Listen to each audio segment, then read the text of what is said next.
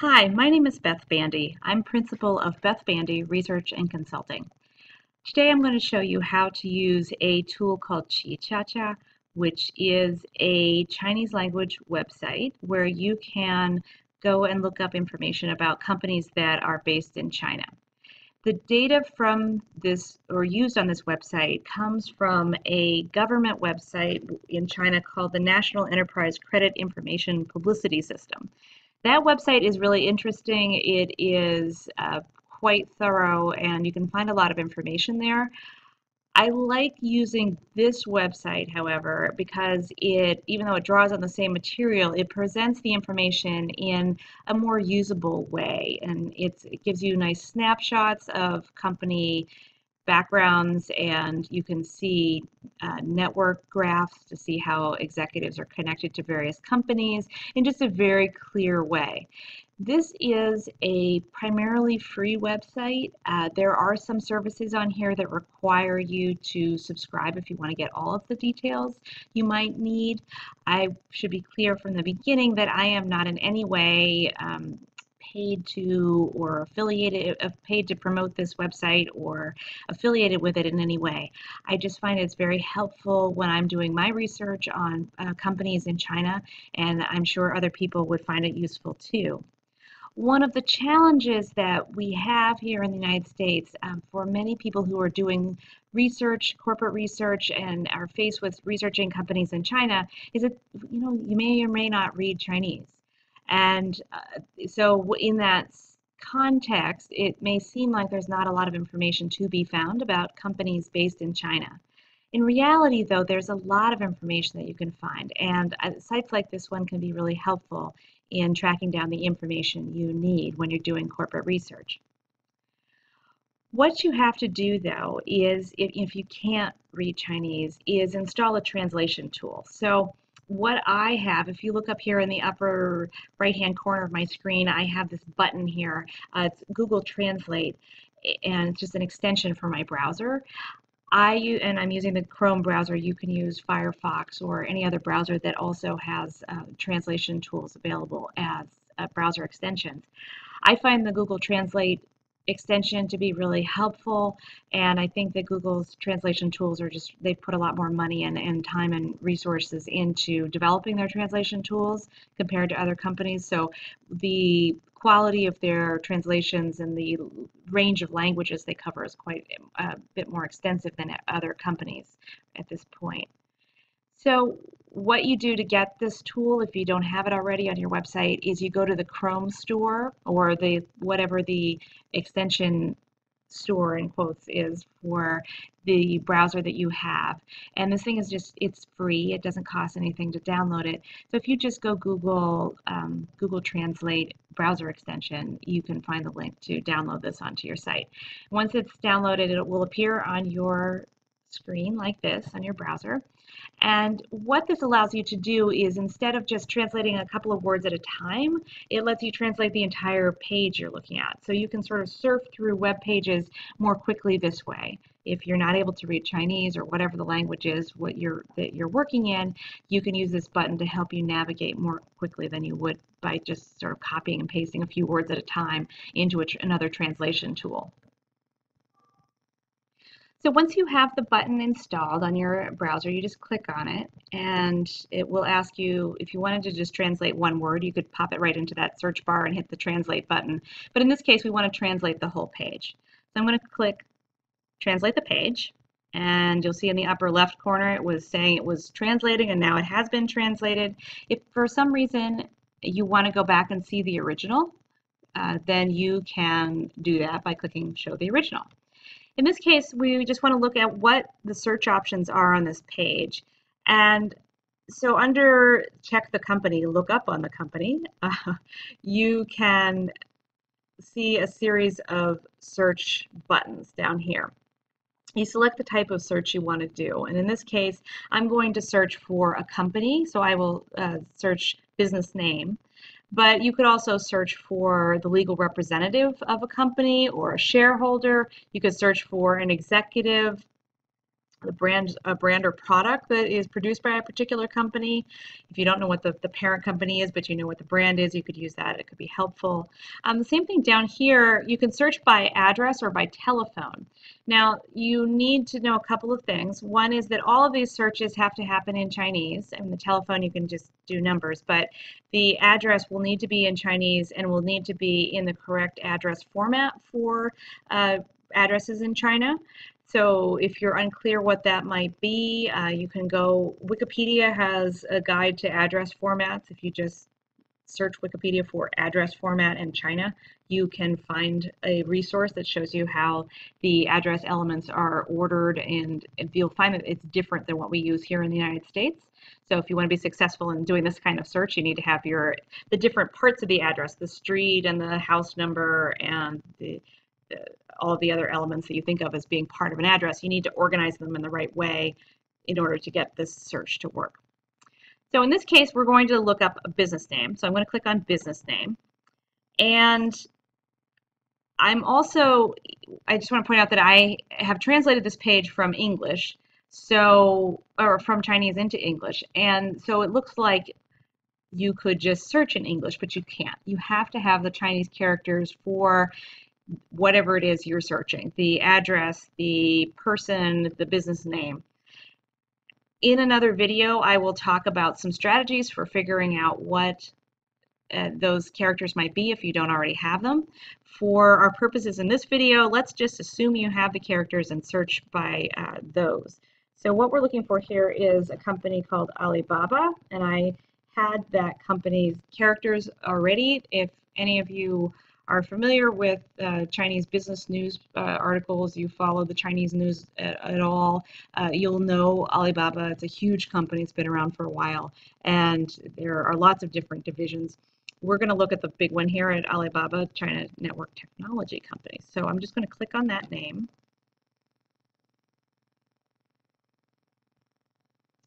And you will see that there is a uh, a lot of information here again, it's in Chinese, so I'm going back up to my little browser button and I'm going to click on that. And I'm going to click translate this page. And as that happens, the information that's on this page will become more clear. So here's the translated page. Uh, you can see basic information at the top of the page about the company, the main phone number for uh, contacting their, you know, their main switchboard, a contact email for someone who is a representative of the company or sort of just a uh, the main desk kind of contact information. You can get a little bit of an overview of the company, the history of how it was started, and some major landmarks along the way. As you scroll down this page, you can see some more information. Um, there is information you can scan a QR code on your phone and download the information that's shown here if you want to do that. Uh, you can see some information about announcements for the company. Uh, you can, if there are things like legal actions that are coming up, you can click on the links under that and find what might be happening. Now, as I mentioned, Alibaba is a huge company. So when you, the things we're looking at here, there's a, a level of detail and a tremendous number of links that you probably won't find with many of the companies that you're looking at because you won't be, this is just such an enormous company. There's a lot of thing, the material to go through. But in general, you won't find that much. One of the things you can see under as you scroll down to some basic business information, you can see information about the top executive for the company. If you click on that person's record, will see some more information about this individual. Um, in this case, it's it's already this time it just automatically translated itself. But if it didn't, you could it would be in Chinese, and you go back and hit that translation button again. Um, you can click on Map, which is really interesting. Um, this will show you uh, in Chinese, obviously, again, uh, the characters in the middle here, this is the name of the person you were just looking at, and these are all of his affiliations with different companies. Now, and we you can spend some time drilling down into these. A lot of these are affiliated with Alibaba or maybe with other companies. He serves as on uh, if he serves on boards of other companies, those would show up here as well. Um, and so it's just good to know that this exists. One thing you should know is if you can't tell, if you don't read Chinese and you can't tell what these characters means, you can do this little trick. So you right click with your mouse, you right click on the name of a company and then this menu pops up. And what you do is you scroll down to the bottom and it says inspect. What this is going to let you do is look at the coding behind this website. And when you hit inspect, a little window will pop up on the right side.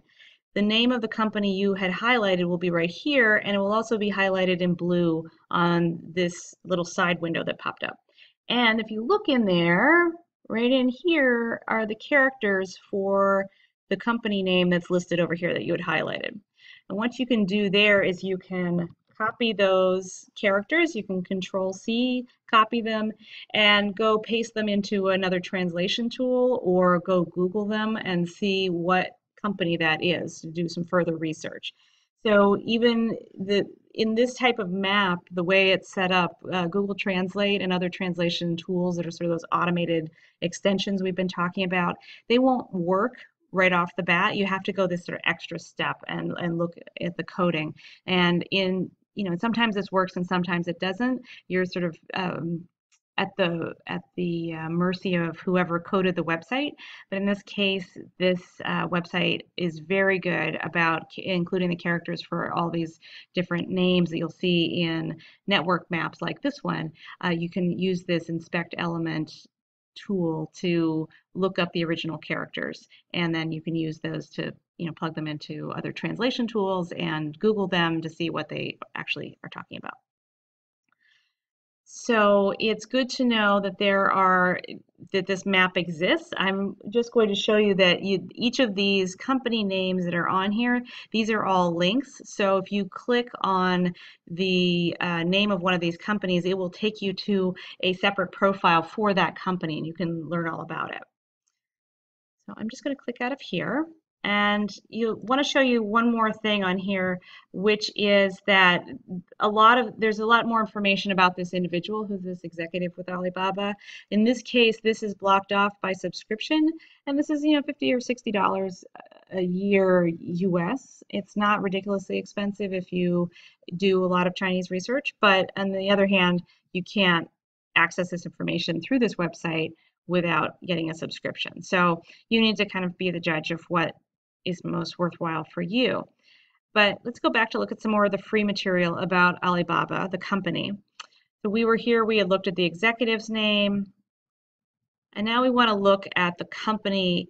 You know, we looked at a network map for this executive, but there's also a network map for the company itself which will look very familiar. But instead of having the executive's name in the center, what you're going to have is the company name with, oh, yeah. so this one, eh, because it's such an enormous company and there's so many connections with various business units and other uh, companies and many, many investors from lots of different places. This is an incredibly complicated network map. Usually what you'll see is more like one company in the middle of the map with a few units or subsidiaries around it. So this is a little overwhelming, eh, but you can it sort of gives you the scope of material that they have in this website. So if you click on any of these links, you click on any of these buttons, these are all companies and you can drill down to see what additional information is there. I'm going to go back up here and go look at the page we were just on. And the page Let's see if it translates itself automatically. Yep, there it goes. So there are a couple things here. You can see who the shareholders are. If you, so we've looked at the executive, we've looked at the company association map, and now we're going to click on shareholder structure.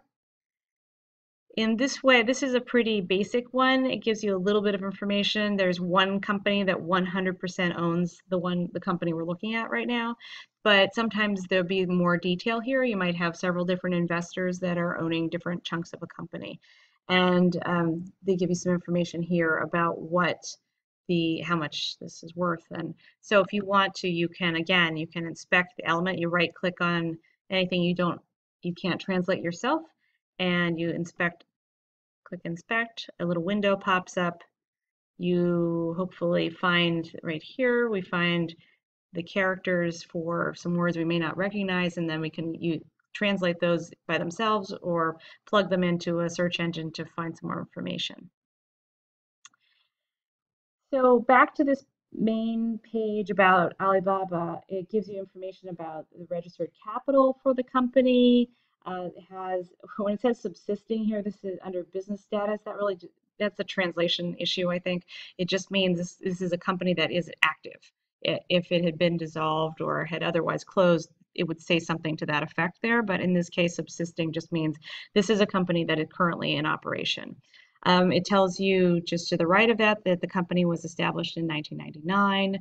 You can find its taxpayer identification number if that's important for the research you're doing. Um, interesting, as you go over here on the left-hand side of the uh, column again, you can see this is the type of company. It says it's a limited liability company, Taiwan, Hong Kong, Macau, legal person owned. Um, so what that means is that this company is in some way registered in Hong Kong, probably. It may also be in Taiwan or Macau, but a good first bet is often to look in Hong Kong. Uh, and there are there's a corporate registry, which I will cover in another video in the future, that you can use to look up information about shareholders and directors and and company information for businesses that are located in Hong Kong. But for now, just know that, that when it says that, limited liability company with these three places afterwards, it's probably Hong Kong, and you might want to go take a look. Um, gives you more information here. It's registered in mainland China in Hangzhou, the high-tech zone, so you can sort of get a sense of where the company is located if you don't really know that already. Um, you can see how many people they have on staff. In this case, they have lots and lots. Um, you can get the company address, the main address, and what that also has next to it is a map. So you can see where the company is located uh, just by clicking this button. Gives you the address, which sort of automatically translated there. And in the background, will the map will pop up in a second. And so this can be helpful if, for instance, you, a lot of times when Chinese company names are translated into English. We may have records in our databases in our companies or in our schools, universities, whatever institution we work for, um, that where the company really doesn't, the name is not clear, or it there may be multiple companies with similar names. What you can do with this map, which is obviously not coming up here for some reason, um, is you can you can look to see if this is actually in the right place. So if you think the company is in Shanghai and the map shows you that it's really in, it's outside Beijing, then you probably have the wrong company. So I guess in this case, you're just going to have to take my word for it that the map exists. It really does exist, and that usually would pop up there. But for some reason, for this particular company, it's not happening. All right, so let's go back here to our main page. Um, under company address, it shows you a business scope. So that gives you a little bit of detail about what kinds of work this company undertakes. And then as you continue scrolling down, you can see who the shareholders are. As we saw in that map earlier about shareholders, there's one company, Alibaba China Limited, that is that owns 100% of the company. Um, you can also see how much capital that company has contributed in a, in a particular time frame. So in this case, it was right back when the company started in 1999. Uh, this this shareholding company gave, and it says 59,690. But if you look up above, that's actually the unit is 10,000 yuan, so or or renminbi, the currency in in China. So you need to take this 59690 and multiply it by 10,000 to get the renminbi total, and then you need to do a currency conversion to make sure you get it back into US dollars to see what that actually is. So there's some more information there about investments. You can keep looking at that. Um, more information, uh, the maps about statistical analysis of foreign investments. There's a lot of information on here about uh, whether or not, uh, if companies have foreign investors, you can see quite a bit of detail about that. And one thing I just want to point out is that look on this website for these little down arrows. You can download these charts and maps. So if you wanted to include these in a report, you can download them as uh, JPEGs and, and, slap them into a, into a report pretty easily. And of course, these are in Chinese, so you might need to do a little editing so you can, you know, if you have non-Chinese reading audience, you might need to make some edits so people can see what's there, but this can be really helpful. And in this case, there are 66 different foreign investors. So eh, this is obviously a huge company. There's a lot going on here, but there are these are investing companies that are investing into Alibaba. And so you can click on each of the links on the left-hand corner, uh, left-hand uh, column, and those will take you to other records about those companies. And again, you can see how much they have in capital and you know other things. And again, subsisting means existing. So that goes on for a long way for, you know, to get through 66 different companies, uh, but we're just going to keep scrolling down here. The next section shows you main staff. So a lot of times these are your your chairman, your general manager, like the the fourth person listed here, uh, anyone who's sort of in a very senior executive role, and perhaps some directors. And if you, each of these names are hot linked, so if you can click on them and go to the kind of individual profile we looked at earlier. And another thing you can do is um, see here that this person is associated with 35 other companies. So it will take you to that network map that shows all, what all those different companies are. Further down, you know, this company is huge, so it has a ton of different branches in different places around the country. You may or may not see this section for the uh, when you're doing research on another company. And continuing down here, there's a thing called changelog, which just gives you information about new developments in the company. And if there are reports or anything that you can read, they'll be linked here legal representatives have changed. And then as you get a little further down, um, they have some information, ultimate beneficiary and the holding company. In this case, this material is blocked off for subscribers only. It kind of depends on the company, I think. I've, I've used this before and seen some of the ultimate beneficiary data without having to have a subscription, but I think it just depends on which company you're looking at.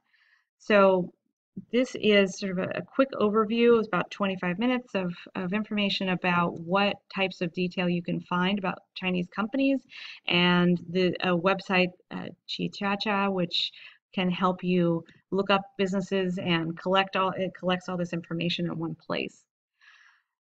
This video is the first in a series I'm doing about researching companies in China. I have other materials about researching other international topics and would some of these are available for free. Some of them are on a on a subscriber basis. You can learn more by going to my website which is just my name beth bandy b-e-t-h-b-a-n-d-y dot com. And I you can also find a contact form there if you have any questions. I'd love to hear from you. Thanks so much. Bye bye